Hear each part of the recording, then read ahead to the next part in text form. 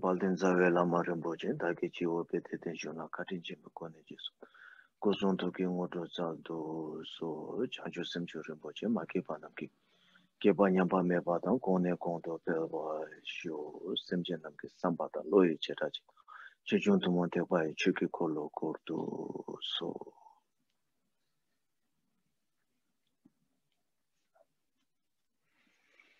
Today, Again, we are talking on Torch of Certainty. And till today, we have already talked about the general ngondro.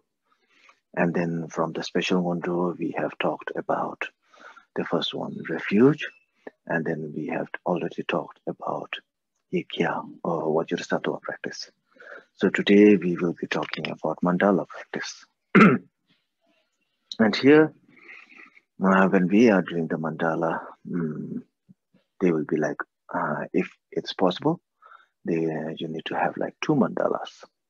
So one one uh, one is for the practice, so you keep it on your shrine, and the one is uh, for you to make the offering.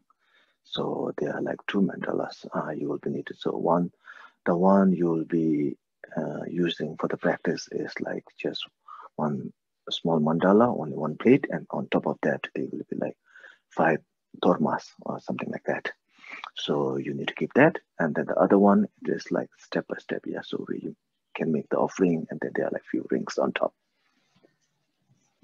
And when you are making the offering of mandala, if it's possible, then it is best if you can uh, prepare a mandala of a precious item like gold or silver or something like that. And if it is of precious item like silver, then it doesn't necessarily have to be very big.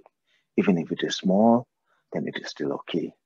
But if uh, you don't have like so much of wealth, and then you can still use some other things like just uh, wood or stone or something like that, or clay, and that won't be a problem also.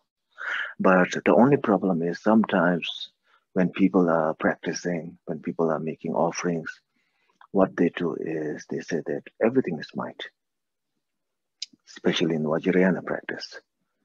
And if it is right from inside of your heart, then it is like that.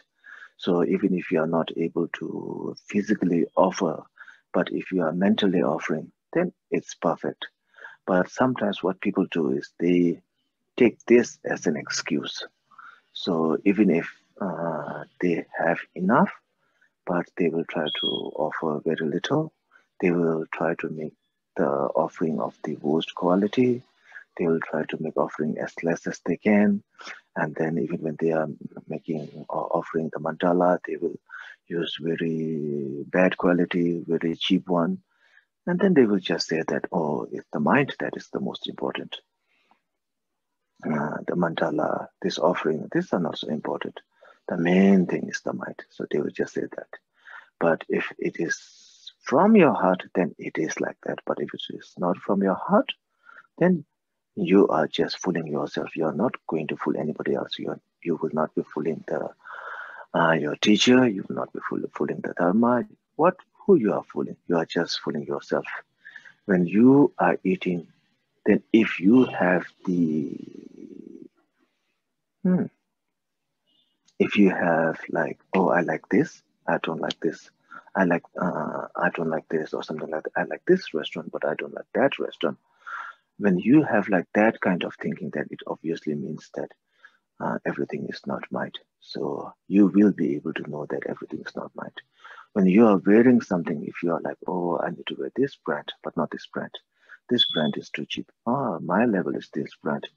If you have like this kind of um, thinking, then you should know that oh, it's not from your mind.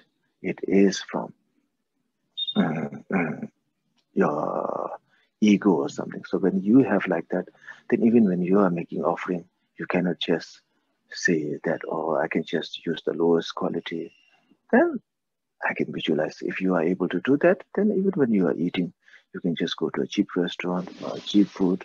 And even if you are wearing, you can wear the uh, uh, cheapest brand. I think you can just, oh, everything is mine. You can just think. So with that kind of mm, thinking, then you will be able to know that whether you should be doing uh, making a cheap offering or good offering. But if you really think that everything is from your mind, then even if it is not so much of good quality, then it is still going to be okay. And uh, obviously, the main important is the motivation or the visualization that you will be making. And after this, uh, when you have when you are done with the mandala, then what you need is you need some things to make. Uh, you need some things uh, or to make the offering. So if you are able, you can offer like gold, you can offer like silver, or you can offer like uh, jewelries like that when you are doing the mandala. Uh, for the supreme, uh, if you are very well to do family, uh, and if you are like medium, then you can uh, still offer like shells and semi-precious stones like that. And then even if, if you are not able to do that, then you can make offerings of rice, grains, uh, some medicines like that. Then you can uh, you can do that. And when you are making offering, if you are able to, then uh, not the silver and gold like that, but when you are making the offering of rice and uh, grains or something like that, then uh, we think or uh, we say that it should at least be like the quality that, that you are eating. If possible, much better than what you are eating. If not possible, then at least what you are eating or what you have in your home. Sometimes what people do is when they are making the offering of mandala or when they are uh, offering butter lamp, what they do is uh, when they when it is for themselves, then they use the best quality. So many uh, different categories we have here, like organic, non-GMO, whatever, whatever. But when they are like making offerings, then you will uh, they will use the cheapest one. So if you do like that, then it obviously uh, means that we don't have so much faith in the dharma. We don't that have that much faith in mandala, it means that we still treat ourselves as much uh, more worthy than the uh, triple gems. So you should consider that when uh, you are doing the mandala. And uh, and after you are done uh, with the mandala, so you will have, if you have made, uh, if you are uh, offering with the gold or silver, or if you are offering the conch shell or semi-precious stone, or if you are offering rice, grains, or whatever, then you should not be, hmm, you should not be using them for your uh, personal use. What you can do is you can uh, offer it uh, to the Buddhas, or you can offer it to the temples, or you can just make, uh, mm, you can give it to uh, like homeless people or uh, poor people like that. So that would be much better. And so first we take the practice mandala, the small one, and then uh, we will, uh, we have to do some visualization, and then we have to do some prayers like Om Samhita, Om Sabhava, and uh, there's some text to be read, and I think it will be taught uh, to you by your resident lama or whoever is uh, whoever is close with you so they can teach you how to read that. And when you are doing the making that uh, practice mandala uh, you i think most of you have already seen it. So it's like um, a bowl upside down bowl.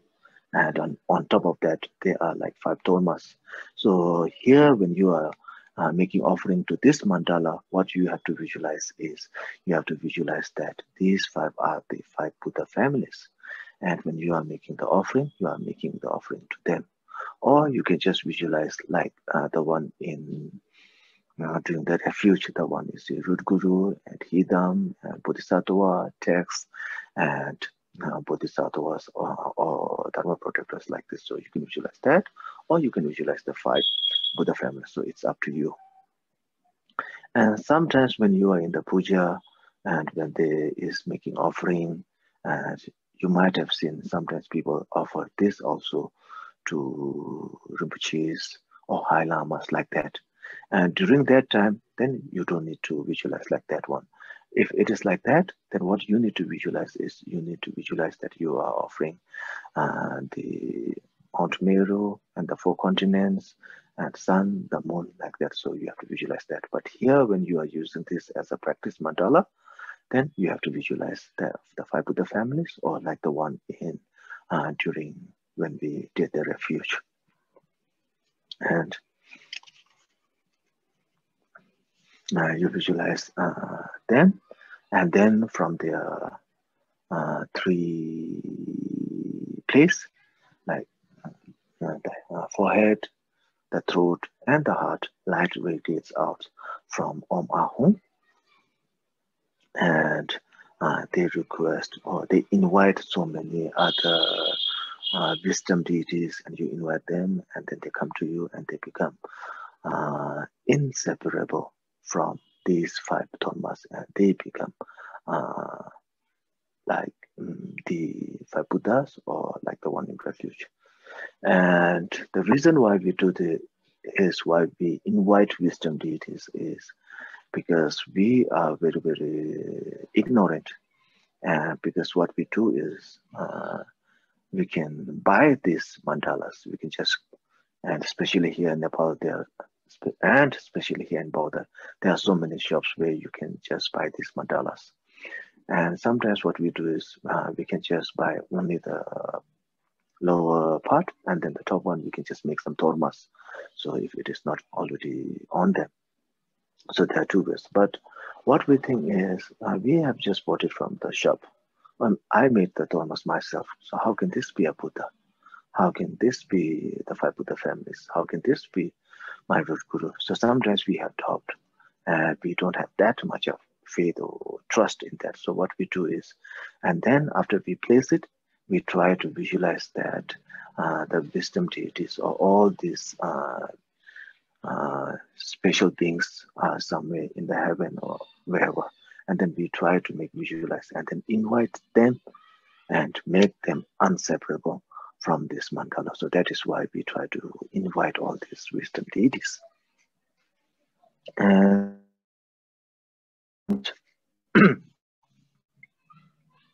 after that, you start uh, your practicing or, uh, or you start the offering.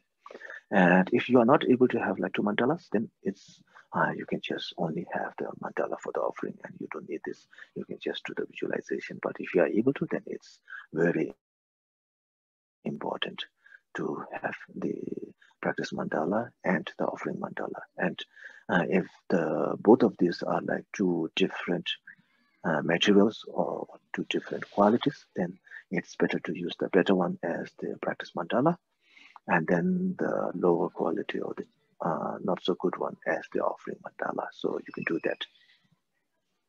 And then uh, you hold the, uh, so you place that practice mandala on top of your drawing and if possible then like a stand and then on top of the stand you place the practice mandala and then you hold the offering mandala. And then when you are holding the offering mandala so uh, you hold it on your left hand. So uh, usually you put it like this and then you hold it like this. The mandala will be here something like this. And you can hold like a flower or rice or whatever you are offering, you uh, put them in your right hand. And then you try to wipe the mandala like this with your wrist. And you try to wipe it as clean as possible with your wrist. And then uh, they're saying that in previous times long time back there were so many great lamas so many great practitioners who were making this offering so many times that they were always cleaning the mandala. And then they hurt themselves from the wrist and then when uh, this wrist got hurt then they cleaned it like this from upper wrist. I don't know what you say this. So, and then again, they cleaned it with this. And then they again got some cuts or whatever uh, on here. Then after that, then they moved it here. They cleaned it with this upper part of the palm or whatever. And then again, they moved it from lower part of the wrist, upper part like this. Uh, they were making so much uh, offering of mandalas. And here, when we are doing this, it's not like the mandala needs to be cleaned. It's not that.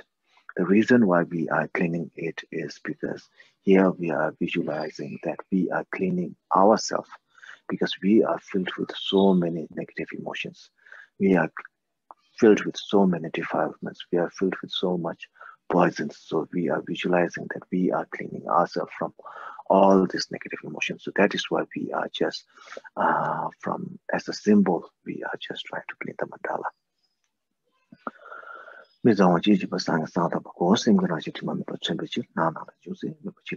And then if they are like some black spot, then we try to clean it as much as we can with our wrist. And we are trying that whatever um, dark emotions that we have or like negative emotions that we have. So we are trying to, uh, all the untidiness or the uncleanliness on the mandala represents our negative emotions. So we are trying to clean them. And then here when we are um, doing the offering of mandala, there so like especially like two different types of mandala. Uh, we have the mandala as it is set in Kalachakra, and then uh, there's one set in Abhidharma. So there are like two different types of mandala. And even in uh, from these two, what we will be doing is uh, since we are like practicing or like uh, preliminary practice for Mahamudra, so we can do whichever uh, we want So there's not much of difference. But here, uh, uh, since the second one is more famous, uh, is more done by most of the people. So uh, usually what we do is uh, here it is uh, described as like it is said in the Abhidharma text. And then you, know, you recite Om And then here it comes all these offerings uh, the 37 ones, it comes one by one. So when you read the text, then it's very easy to understand. And then the way uh, you do that, mm, mm, uh, there are like where you place your hand, where you put the grains or jewels or whatever.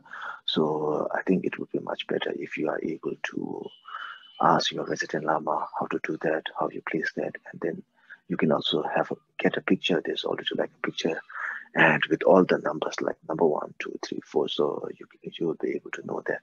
And then you can visualize each one like one by one. And uh, they are like 37.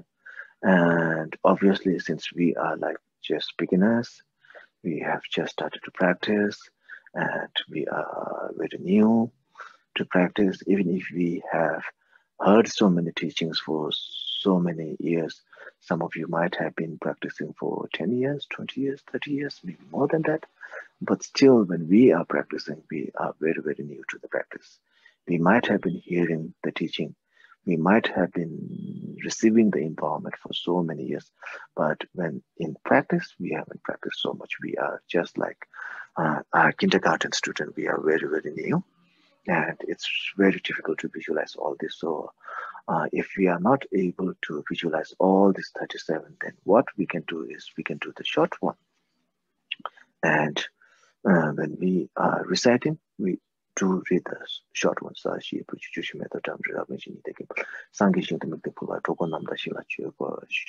we have to use this one. So just like that, when we are reciting, if we are not able to visualize all these 37 one, what we can do is we can just visualize this short one, like the golden earth. Uh, sometimes I think it is said golden earth. I'm not exactly sure what is translated that as and then the mount, mountains, and then the four continents, and the sun and the moon. So if we are only uh, able to visualize these, then that is still okay. So and it is almost impossible to visualize everything that is uh, uh, the detailed one. It's almost impossible for us to meditate on that. And the main thing is when you are doing this, uh, obviously it is the motivation that is the most important. But uh, as I have told you before, you shouldn't be just taking motivation as an excuse and then use uh, the lowest quality, cheapest quality, the least expensive, the cheapest one, like that. So if you are able to, then uh, uh, the better the offerings, the more merit that we gain. And then when we are talking about uh, merit, we have this to accumulate merit. Um, so, and from all these different types of accumulation of merit, uh, we think that uh, this type of uh, offering or this type of uh, accumulation of merit is extremely beneficial. and after this uh, mandala, there is like a small uh, extra teaching here. So here,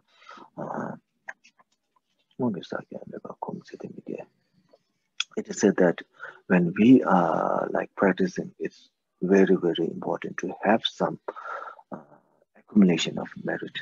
And if you don't have accumulation of merit, then it's almost impossible to gain enlightenment. Uh, sometimes we might have accumulated merit in our previous life or lives before that. Uh, sometimes, sometimes we may not have accumulated any uh, merit in our previous life. So it is very important to make some accumulation in this life and the more accumulation of merit we have accumulated, the easier it is to know the essence of Mahamudra, it is easier to gain enlightenment. So it is very, very important uh, uh, this uh, accumulation of merit. And then here in this text of Torch of Certainty, there is like a short description about the six paramitas. so from because uh, continuing with the accumulation. So the first one, as I think all of you know, that is the generosity. And when we are talking about generosity, and here we are all describing all these six perfection in three different categories. So here, uh, talking about generosity, the first one is, uh,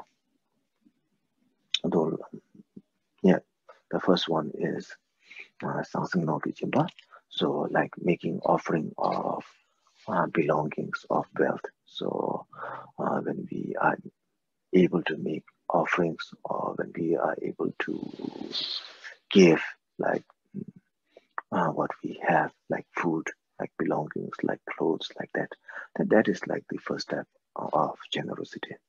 And then the second one is offering of dharma. And if you are able to teach, if you are able to guide, if you are able to show other people uh, the benefit of dharma like that without expecting anything in return. Because sometimes when people are teaching, they are expecting uh, to gain some fame, and sometimes they are expecting to gain uh, some rich, uh, something like that, then it's not so beneficial. But if you are able to uh, offer or teach the Dharma, then it's very, very important uh, to be able to give that. And then the third one is helping others from their fear, I guess. So when somebody is very afraid, like because they are sick or they are afraid uh, of the dark or afraid of being or afraid of falling or something like that, and then if you uh, or sometimes they are afraid because of they are not able to follow their uh, discipline or something like that then if you are able to do if you are able to help then it is very very good. So uh, even in generosity there are like roughly three different categories and then uh, the second one uh, the second one discipline and then the even uh, the second one uh, discipline the first one is uh, being away from all the wrongs or being away from all these 10 uh, sins, like the sins of the body, sins of the speech, and sins of the mind. So the first one is being away from them. And then um, the second one is um, practicing the Dharma. So not only uh, just being away from the sins, but being able to practice. So here it says,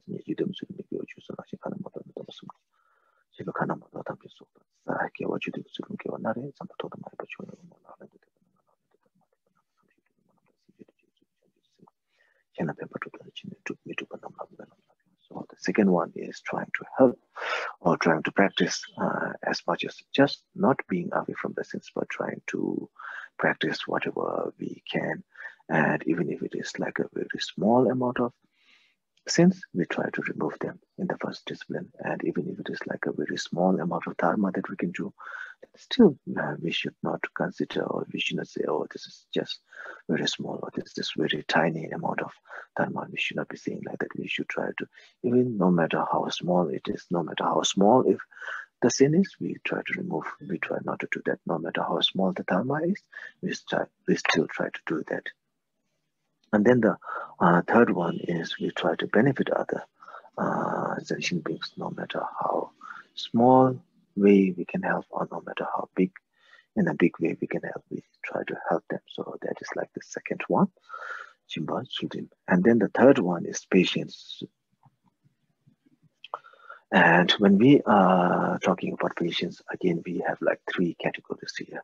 So the first one is when somebody is telling bad things to you or hitting you or punishing you and we still try to maintain our patience.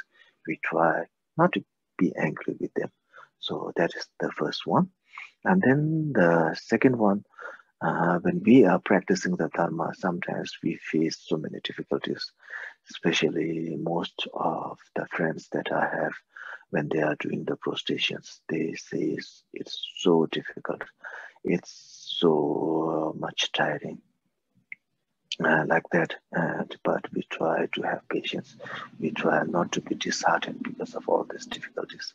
And no matter how sick we become no matter how tiring it becomes we still uh, keep on practicing like that. And uh, the third one is uh, when we are practicing and sometimes we try to not try to sometimes we lose faith and when somebody just prays for us uh, we think that if it is not working then we say oh the prayer is not working. It's useless something like that. Or the mantra is not useful. Or maybe the lama's blessing is not useful. And um, so we shouldn't be saying that. We should have patience that they are going to work. Uh, sometimes uh, people uh, we think that or if we are able uh, if we are practicing Mahamudra then it is very difficult. We won't be able to practice. We won't be able to see the nature of the mind. Then we shouldn't be disheartened. Then we should have patience with that. So that is like the third one. And talking about uh, the second one like having patience when we are uh, practicing then even me when I was in retreat when I was doing the prostration, uh, prostrations. And after like eight to 10 days after the prostrations, even I had so much difficulties. I, I became quite unhealthy, I guess, um, because it's quite a lot of work. Because when we are in retreat, we have to do like four sessions of prostrations. So early in the morning, so there's like almost two hours of prostrations.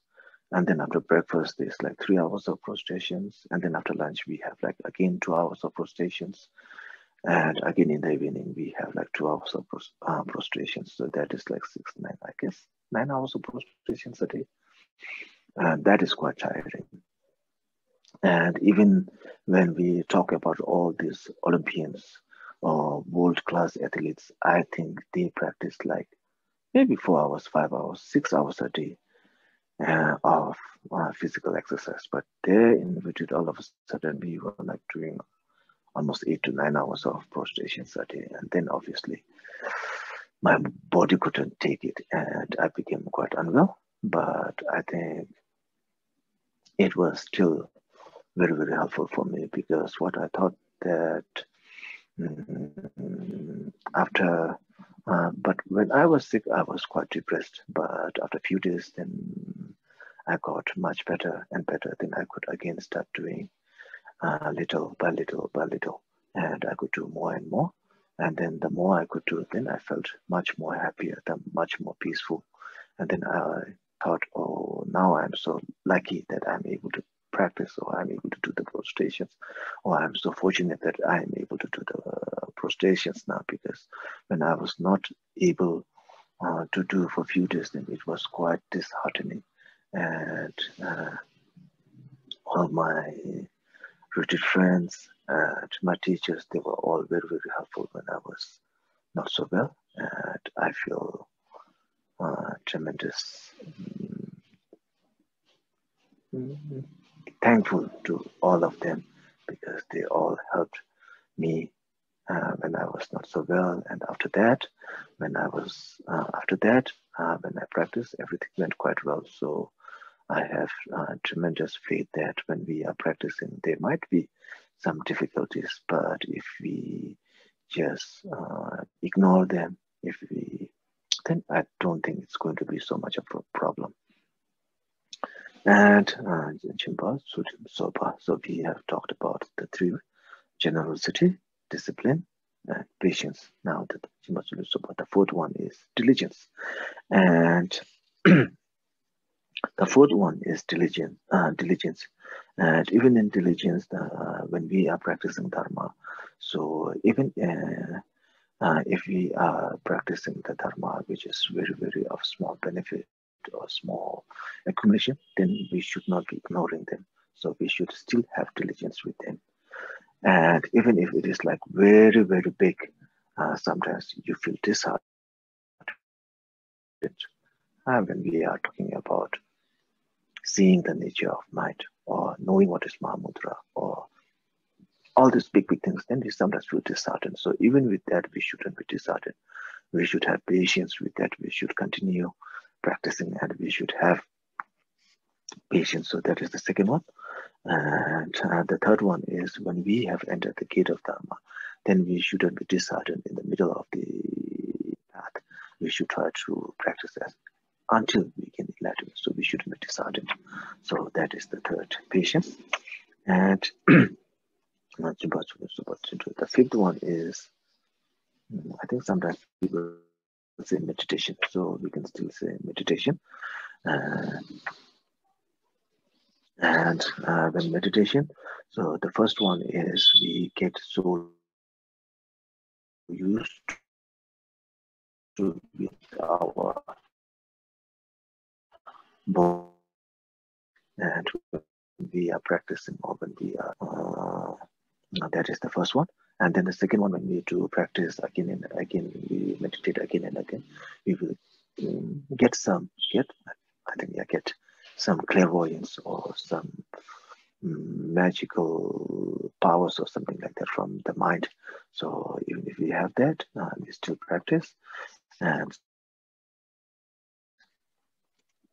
so yeah, and even because uh, the third one is even if we get not only like for ourselves, but sometimes because of the benefit of uh, all this uh, practice, uh, sometimes we are able to help other sentient beings, and we are able to do that, and we still certain we should still be like, we shouldn't be feel so much bad, something like that. We should still continue uh, practicing. And the last one is uh,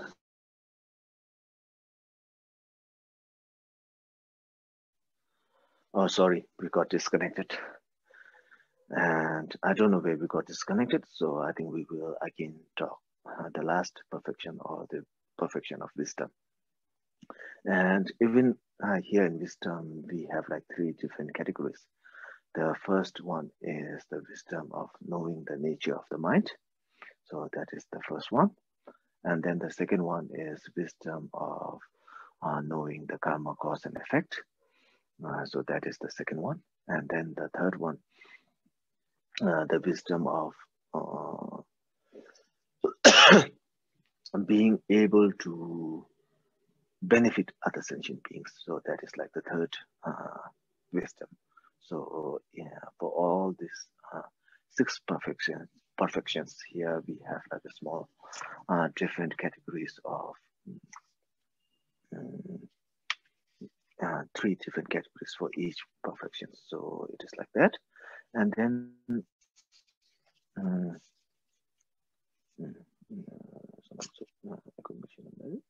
and here when we are talking about uh, mm, all the six perfections, so uh, here it is said that the first two, like the perfections of uh, generosity and the perfections of discipline are like the accumulation of merit. And the perfection of wisdom is like the accumulation of uh, wisdom. And the three other one the perfections of patience and the perfections of perfection of diligence and the perfection of meditation are like uh, both accumulation of merit and accumulation of wisdom so here we just talked about um, mandala and some uh, very small talk on the six perfections and their classification or their uh, different division or whatever. I don't know how you can say that. And so it is very important uh, we know this. And then when we are offering the mandala also, uh, we will be accumulating lots of merit. And this is like the best accumulation of merit. And it is not going to be of waste because uh, when you are offering the mandala, you are not only offering it to someone, but you are trying to make this offering to the, all the Buddhas, all the Bodhisattvas, and everyone. And you, and even when you are offering, you are not only offering a small amount of things, but you are trying to visualize that you are offering everything. You are trying to visualize that you are offering the four continents, the mountains, the sun, the moon, and everything. So even uh, the place where you are offering, it's huge. And even what you are offering is extremely huge. It's not like it's not only the things that in physical condition you're offering. It's the men, it's also the mental aspect that you are offering. So it's very, very huge. And because it's so huge, uh, when you are offering from your mental aspect, so even the accumulation of merit that you gain is extremely beneficial. And and uh, the main thing is the mental aspect. Yeah, so because you are offering it from your mental part, so you will also not be feeling so much of pride when you are making this offering. Because sometimes when we are able to help someone, or when you are offering some like belongings uh, to the Buddhas or to the Sanghas, or sometimes when you are making offerings to the like beggars, then sometimes you feel very, very proud. Oh, I was able to do this. I was able to help them. So something like that, you feel proud. And if you feel proud, then it's not so much of use. The accumulation of merit that you have gained will go into waste. But here, uh, the main aspect is the motivation. So since you are doing it from a motivation, so you will also not feel so much of proud and you are making an offering to so many Buddhas and Bodhisattvas. So it's uh, you're offering to so many beings, you're offering so many things. So the accumulation will be of huge benefit. So that is why it is very important to do this practice. And when you have accumulated merit, then when you are practicing, everything will become much more easier. So that is why we do the mandala practice. And mm, I think we will uh, stop here. And that's what Mandala for today. Uh, tomorrow we will be talking on Guru Yoga. And we'll stop here for today and we'll do the dedication prayer. So, then we will do Kamal Nutrition, Chubel Sambo Yun, then Kagya, the Beijing Shabbat, that is it. Tinlen Cholen Namgya Baba, Sho Sonam Di, Tamji Sibani, Tomni Nibi, Tanab. keka na chi palab chupa isi pe tsole chowa cholwa sho. Yeah, thank you.